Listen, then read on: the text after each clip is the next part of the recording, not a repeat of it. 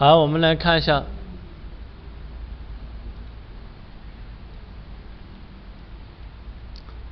它有一个很好的一个伸缩功能，是吧？很好的一个伸缩功能。我们来看一下它里面的一些配置是配置。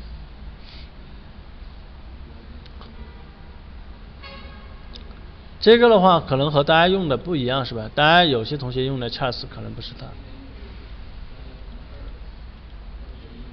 在这里的话，我们看一下它的一个配置。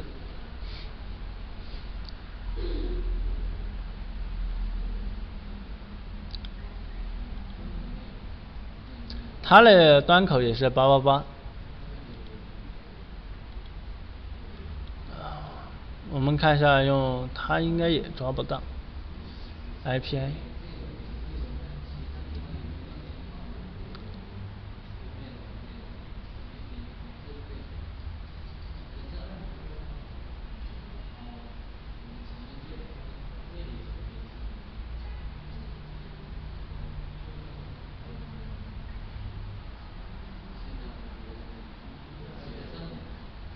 我们看一下，通过它能不能把关键的数据给查出来。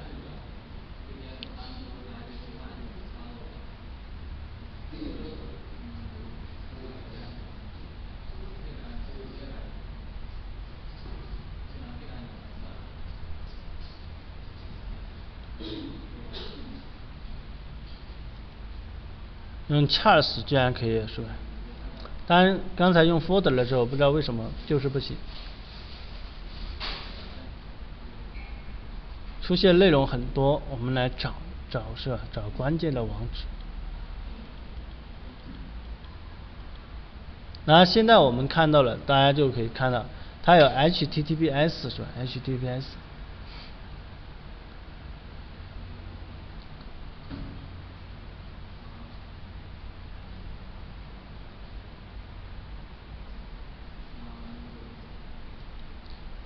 这个是广告吗？我们换一个，因为刚才启动了过程中就开始开的，我们重新抓一次。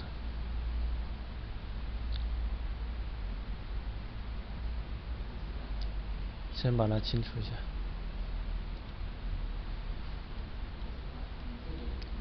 我们来首首先把这个模拟器打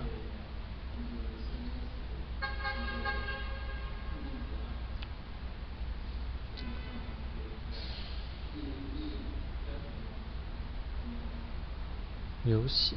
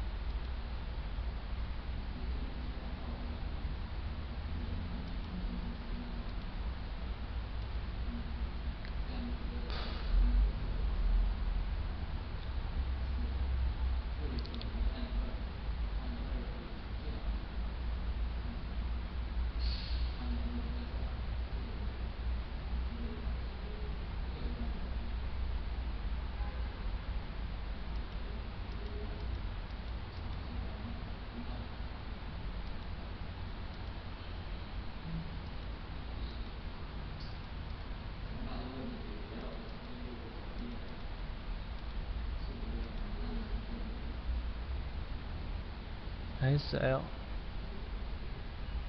然后九二幺点二点二点幺三七，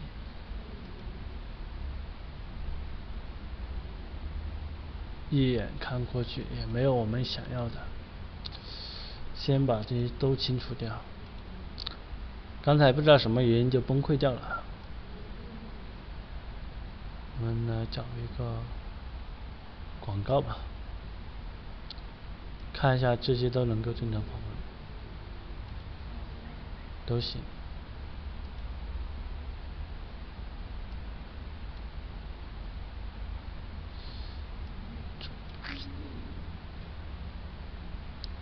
它这个移动范围就，先把这个清掉。好，我们来看一下。这个时间有点长是吧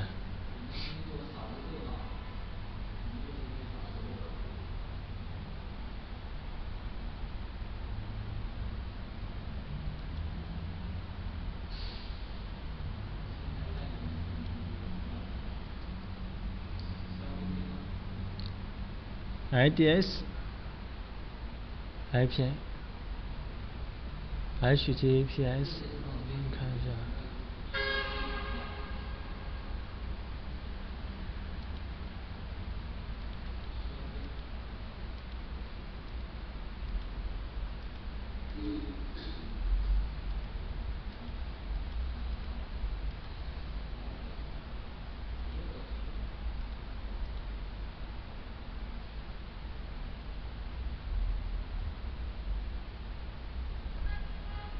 其实明显看就不是。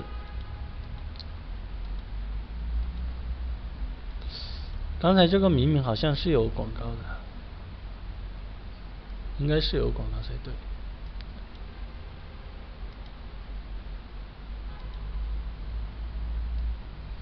我们看一下这个。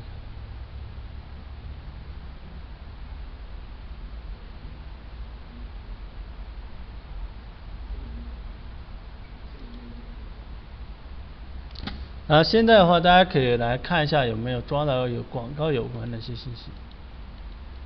这个没有明显。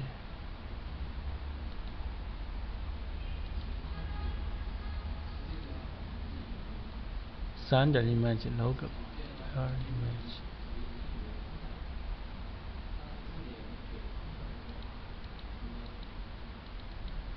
这个广，这个里面有这样多信息。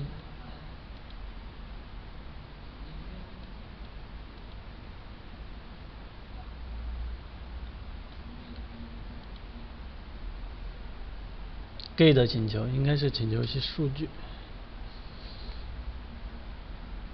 我的。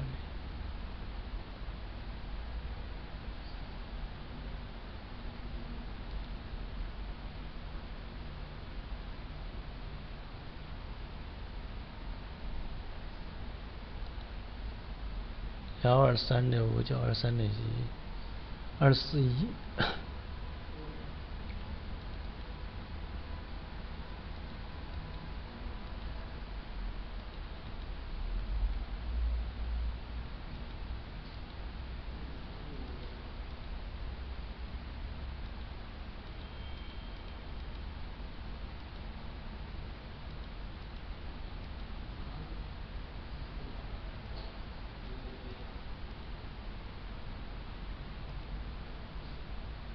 北京，这个大家可以看一下，是吧？大家下去找一下也行。这个你看，大家会发现明写的，只要是 HTTPS，应该是都是没有的。这个是应该是一张图片，要么就是视频。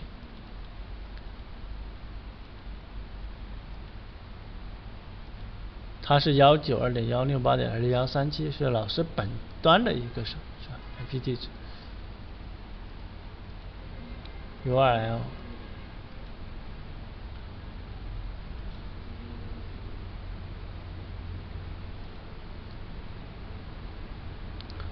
除了这个之外，我们看一下有没有其他一些可疑的。IDS、IPA 应该不是。我们如果大家在这种去找，慢慢的一个个去找的话，的确比较麻烦，啊，的确比较麻烦，而且不容易找得到。那还有一种解别的方法，我们来再试一次。还有一种快速的找的方法，我们来试一下。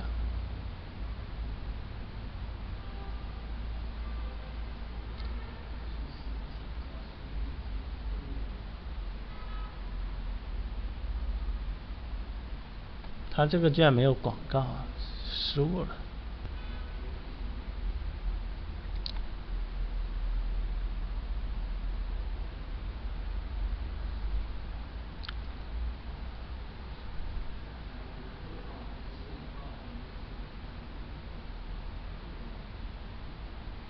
这个也是没广告。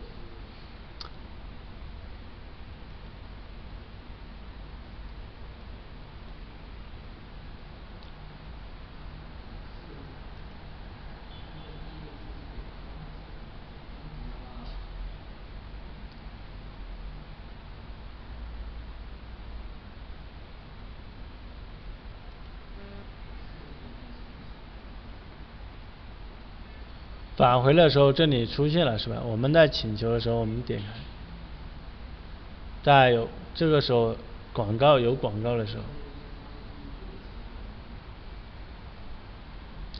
那我们来看一下刚才有些地方是出现了，像这里，这个应该是比较可疑的，而且是请求数据。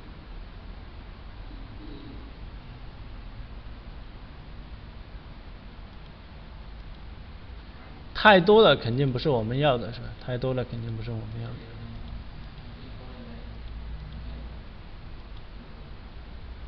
HTTPS，莫非他连广告都是 HTTPS？那就尴尬了。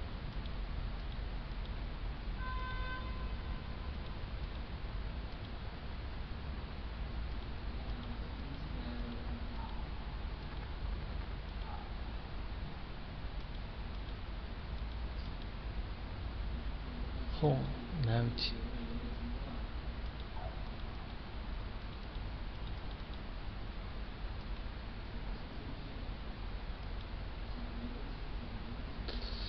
广告应该就是这个，但是我们来看一下，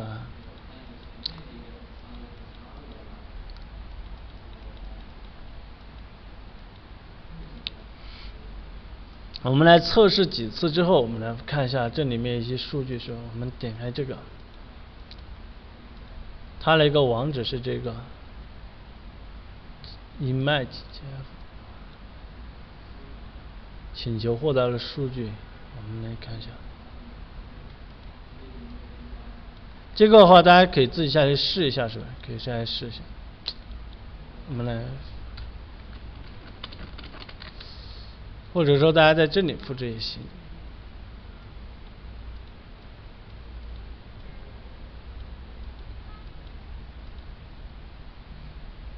下面的这样一些数据，然后我们刚才在测试的过程当中发现它有这样一个网址是吧？这个的话大家要反编译这个 APK 才行是吧？反编译它之后得到对应的信息，啊，反编译之后啊，我们可以是首先先复制一下这个网址，看能不能打。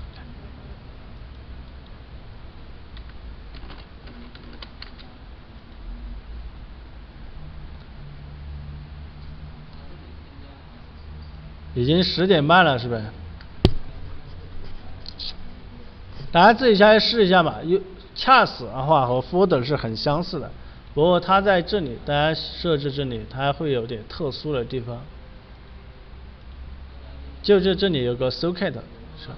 这里上面是抓 HTTP，下面是抓 socket，所以说它的功能的话是要比什么 folder 要强一点，而且它的一个显示界面的浏览性。的话也是要比什么 folder 要好一点，就是整个浏览，大家会发现它是都有伸缩的，一些协议是吧？它都会为你归类是吧？进行归类。这个工具大家都会使用了吧？啊，中途的话有同学可能已经走了是吧？这个这节课的话应该说的更多是工具的使用。没问题的话我们就来看一下。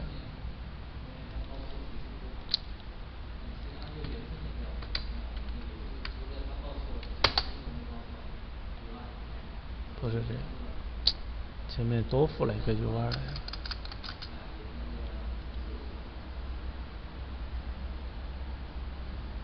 不知道能不能进。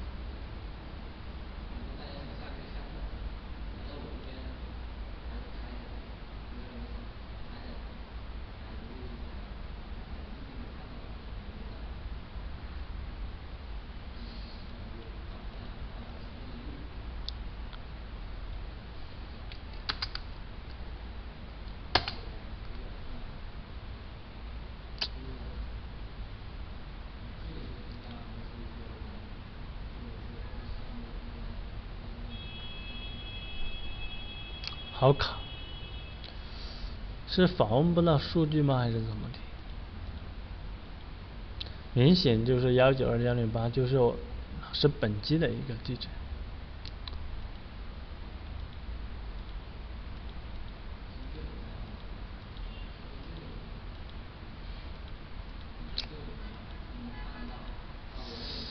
这个一时还打不开。就这两个工具的使用，大家这节课能掌握的同学的话，就刷一朵鲜花是吧？然后这节课的话，基本上讲到这里就差不多了。大家下去的话，可以着重的用一下 folder 和 chars。如果下课的话，大家可以尝试用 TCP dump 这个工具来抓包试一下。哎，我我怎么把这个网页给关掉了呢？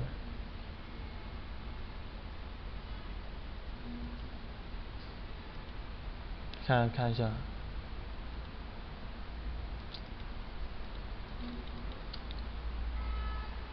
我们的幺五同学流汗了。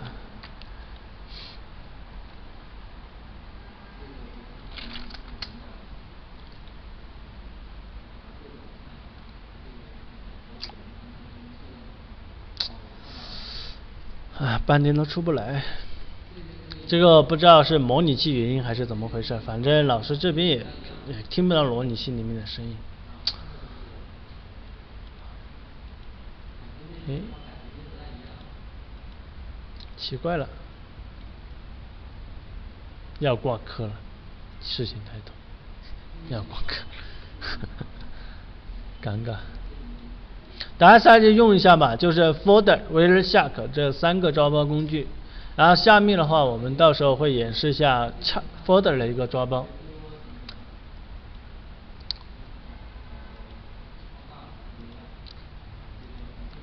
SO 图标，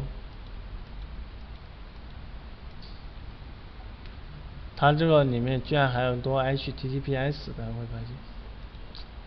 当然有些的话不是我们这里的，是是它这个应该是三六零打开这个网址的时候产生的。实在访问不了，那就算了，我们就不再墨迹了。剩下的时间，大家就想一下如何来抓这个，是吧？如何来抓这个？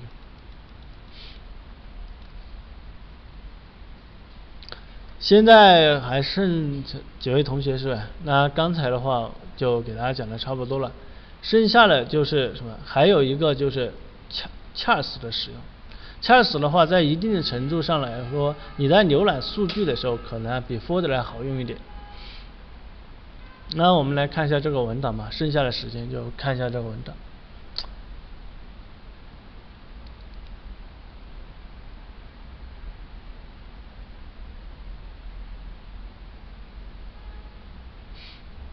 大家自自己下去下一个芒果 TV 这样一个工具来看一下，是吧？那它的一个界面是这种是吧形式，差不多了是吧？HTTPS 界面界面的话，它这个描述的比较详细是吧？描述的比较详细。那这些的话，我们比较用多了，比较就就是设置恰死是吧？啊，到时候需要安装证书的话，我们到时候再讲。啊，这一块都是一些请求是吧？断点是吧？是不完整。就是一些目录结构。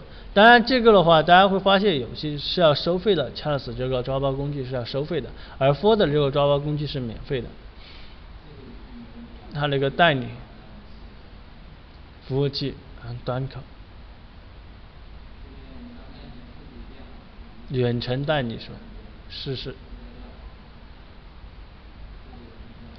网速模拟功能，断点是吧？断点列表查看。其实，在一定的程度上，抓包工具哈和 WPE 是有相似之处的。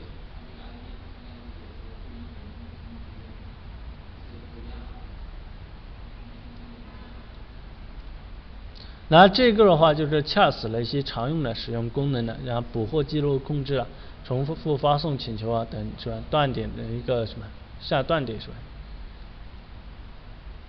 网页模拟功能等等。那这个的话，到时候会给大家打包，这几本书够用吗？好，基本上就给大家讲完了，是吧？chars 的使用，大家应该就是简很简单，它和 Folder 是一样的。维下可的话，我可能就要稍微复杂一点了，因为大家看 TCP 的时候会看的可有可能会比较头痛。有问题的同学的话可以说一下是吧？没有问题的话，我们这节课就下了是吧？因为时间不早了。下吧下吧，好吧。其他同学也没有问题的话，我们就下课了是吧？